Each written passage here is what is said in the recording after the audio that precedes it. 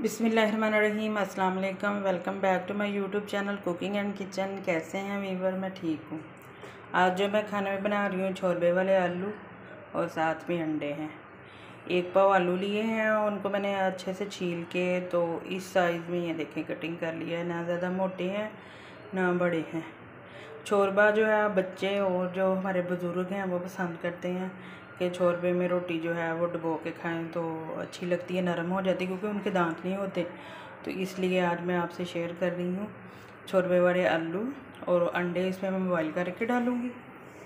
तो जो इसमें चीज़ें जाएँगी वो भी मैंने सारी बना के रख ली हैं, आपके सामने नज़र आ रही हैं आपको। तो अभी मैं बता देती हूँ, एक प्याज है जिसको मैंने बारीक चॉप कर लिया है, एक टमाटर है वो भी चॉप कर लिया है, दो दर लहसुन अदर का पेस्ट है, इसमें दो सब्ज़ मिर्चें मैंने डाली हैं।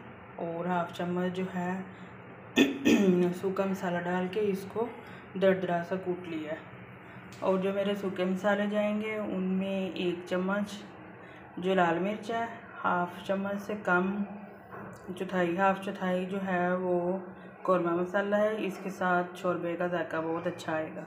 और हाफ़ चम्मच कसूरी मेथी है, एक चम्मच नमक है, थोड़ा सा ज़ीरा है, तकरीबन दो चुटकी। और हाफ़ चम्मच जो हल्दी है। तो दो अंडे हैं, उनको मैं बॉईल करके कटिंग करके डालूँगी। इधर मेरी कढ़ाई भी चूल्हे पे रखी है, अभी चूल्हा जलाते हैं और खाना बनाना स्टार्ट करते हैं। जी तो वीवर कढ़ाई मैंने चूल्हे पर रख लिया है और ये वाली एक डोई जो है वो मैंने भर के ऑयल की शामिल की है। और अभी मैं इसमें सबसे पहले अदरक, लहसुन का पेस्ट शामिल करूँगी। उसको फ्राई करूँगी, बिस्मिल्लाह रहीम। एक दो मिनट के लिए इसको सोते करूँगी ताकि जो इसकी खुशबू है वो ख़त्म हो जाए।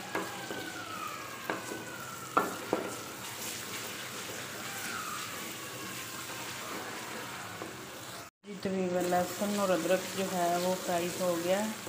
तो अभी हम अपने प्याज इसमें शामिल करेंगे। चौकी हुआ एक अदर प्याज है बिस्मिल्लाह इसको लाइट गोल्डन फ्राई कर लेंगे हम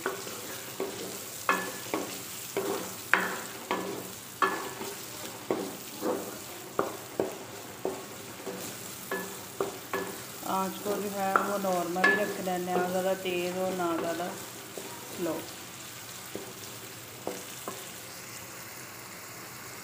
वीवर प्याज भी हमारा सोते हो गया है।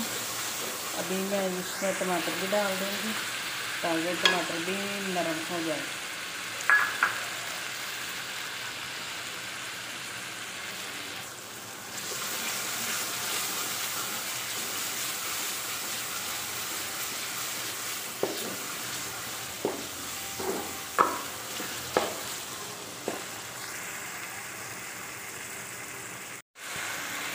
जी तो टमाटर भी नरम हो गए हैं। अब मैं अपने सूखे मसाले शामिल करूँगी।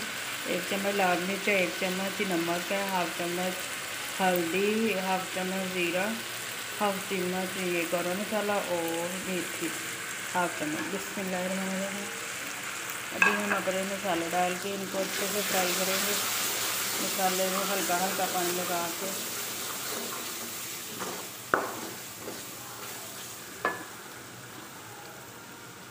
आपको बिल्कुल नॉर्मल कर देंगे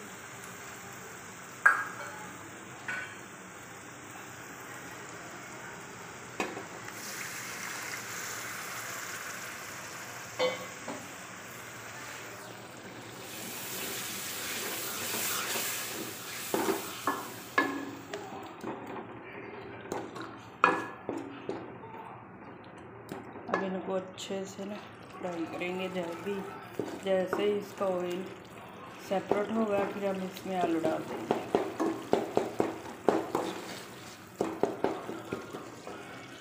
मसाला जो है वो अच्छे से फ्राई हो गया। देखें ऑयल भी सेपरेट हो गया।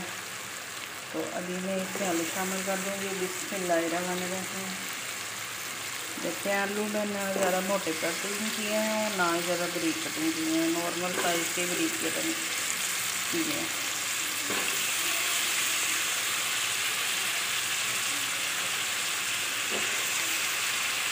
हाँ जी वीवर्स आलू मैंने शामिल कर लिए अब पाँच छः मिनट के लिए आलू को भी इस मसाले में अच्छी तरह फ्राई करेंगे ताकि आलू में सारे मसाले का, सूखे मसाले का, दूसरी सब्ज़ी प्याज और टमाटर सब्ज़ मटरों का जो फ्लेवर है, वो सारा इन्हेंस भी हो जाए और आलू में भी इसका फ्लेवर आ जाए। अच्छे से मैं इसको फ्राई करूँगी। जैसे ही ऑयल सेपरेट होगा, फिर हमने जितना छोरबा रखना हुआ, उतना पानी डाल लेंगे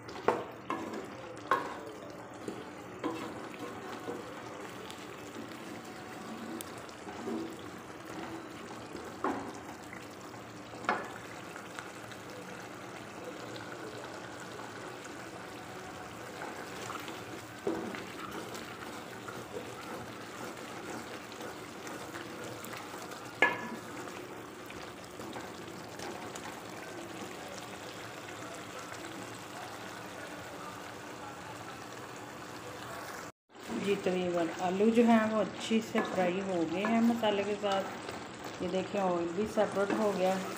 तो अभी हम इसमें दो गिलास पानी शामिल कर देंगे।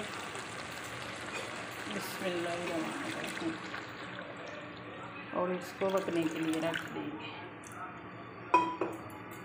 जितना छोबा मुझे चाहिए, उस हिसाब से इसको मैं पका लूँगी। इतना पानी इसलिए डाला क्योंकि आलू भी अभी कच्चे हैं तो आलू भी गलने हैं। और छोरबे ने गाढ़ा भी होना है। तो अभी हम इसको थोड़ी सी आँच तेज़ करके तो इसको पकने के लिए छोड़ देते हैं। जी तो व्यूवर देखें, मेरे छोरबे वाले आलू अंडे रेडी हैं। देखें माशाल्लाह से कलर कितना ज़बरदस्त है और वो आलू भी हैं, वो बहुत ज़बरदस्त गल के हैं और टेस्टी और जमी बने हैं।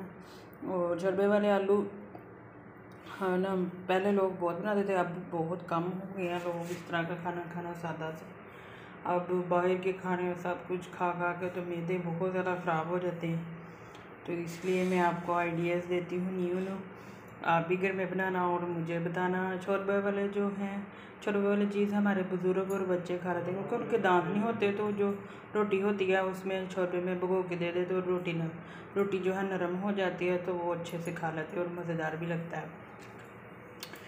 तो अभी जो है मेरे आलू छोटे वाले देखे रेडी हैं। माशाल्लाह से बहुत ज़बरदस्त बने हैं यमी किस्म के।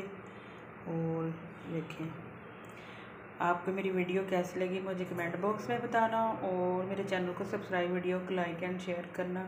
आपके प्यार की बहुत ज़रूरत है। तो अभी दें मुझे इजाज़त, अल्लाह हाफिज़।